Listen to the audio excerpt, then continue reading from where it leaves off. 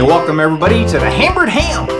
To bring in year 2026, we're going to make a CW contact on a Heathkit DX60A transmitter. It's got the VFO. We're going to be listening on a national NC173 receiver. It's been warming up for about four hours to maintain stability.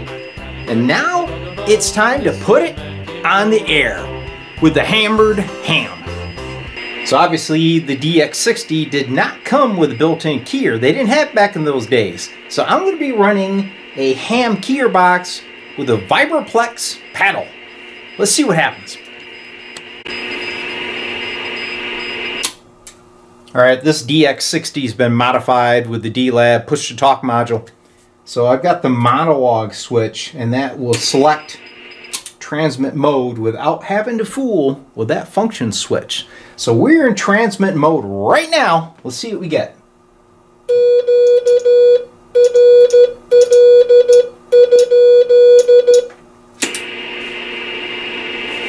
Always ask if that frequency is in use. That's what we do here at the Hammered Ham Shack. All right, hearing nothing.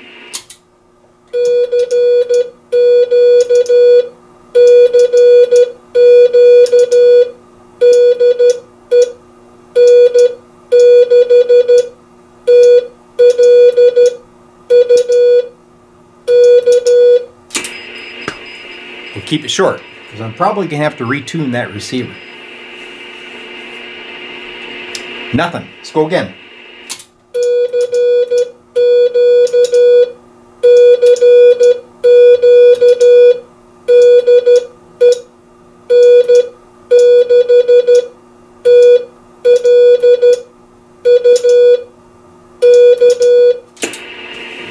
So I'm on the 40 meter band, somewhere around 7.060.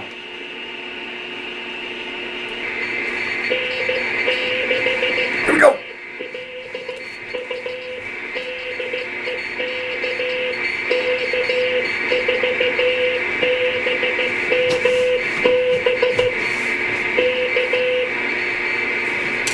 I think it was KK4BM. I'm Not sure.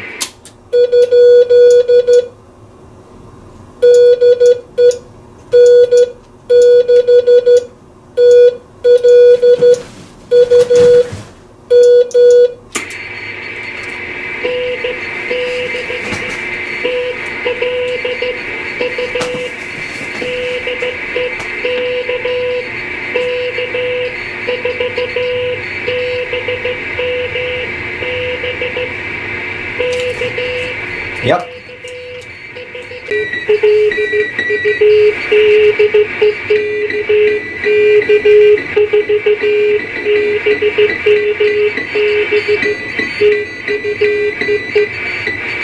First QSO down with a cat. All right, so reviewing that QSO, I missed a character. His call was KK4BMB. There's another B there. I didn't catch it until I looked over my notes and I was like, why did I put a B on that piece of paper? Yes, so I got that wrong, Ed. Sorry about that, guys. All right, let's try another QSO here at the Hammered Ham Shack. All right, I to go up in frequency a little bit. I had QRM.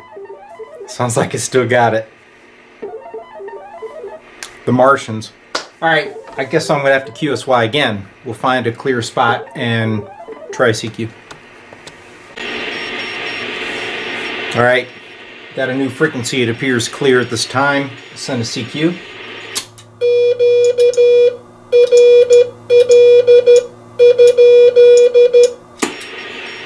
Always have to ask if that frequency is in use.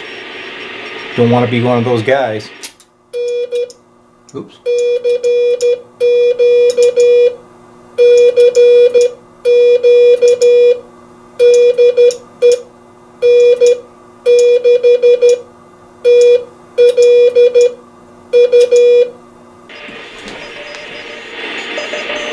Somebody.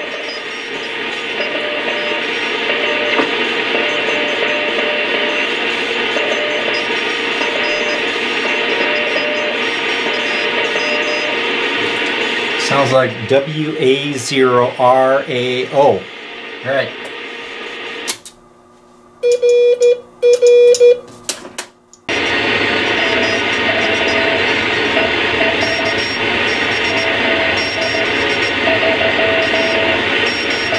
Said he follows me on YouTube. have to let him know he's going to be on a hammered ham.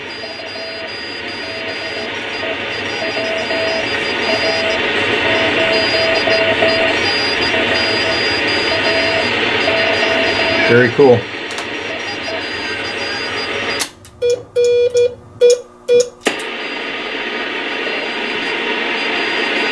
Cool. All right. So I told him that he was going to be on the next Hammered Ham video. Oh.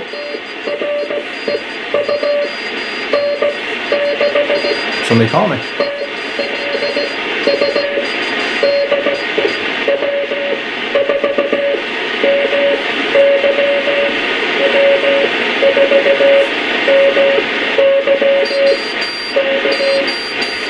W4MY.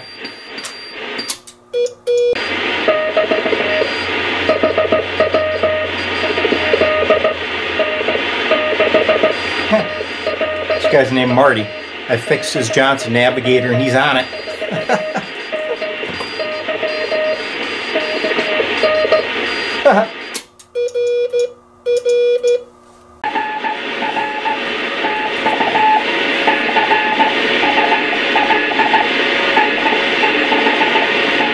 Hmm.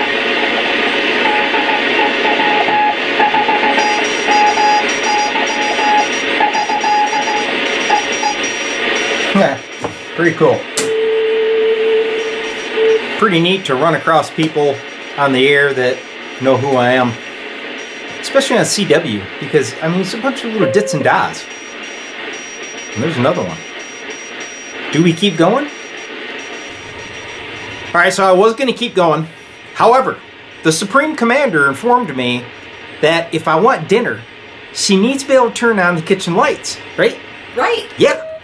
So when she does turn them on, it rips up this receiver and I won't be able to hear any of this. So I gotta go. But it was fun. Got to use the DX60 and the National 173 and make some QSOs, even though it was kind of a drifty mess. It was still a great time. Here, Say your Shack. goodbyes. Say your the Hammer. Ham. Yep, we're out of here. A little bonus content. The wife said I've got 45 minutes for another QSO. And I just heard somebody.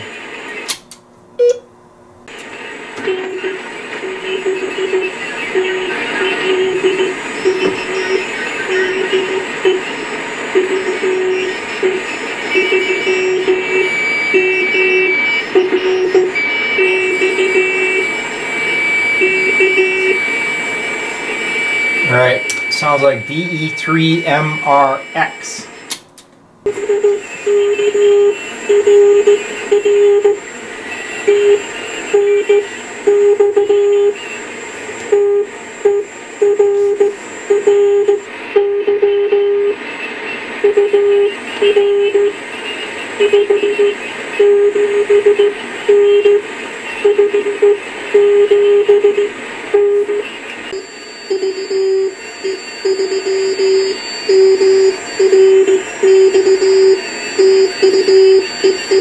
Okay.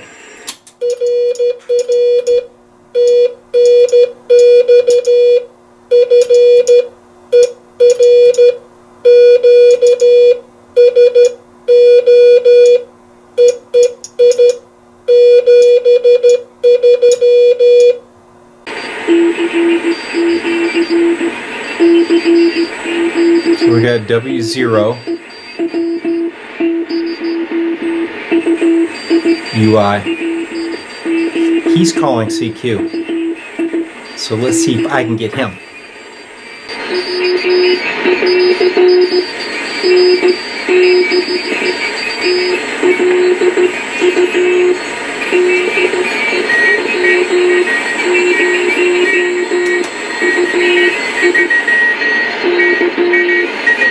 All right.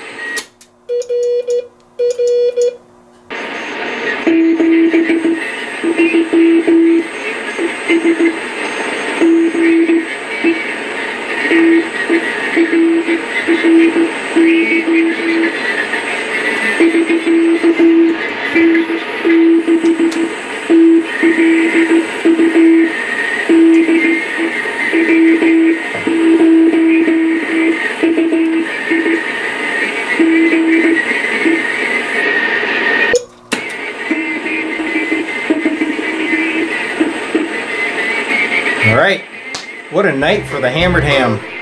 So we're in transmit mode right now. Let's see what we get. This old man, he played one, he played knick-knack on my thumb with a knick Always ask if that frequency is in use. This old man came rolling home. That's what we do here at the Hammered Ham Shack. This old man, he played two, All right.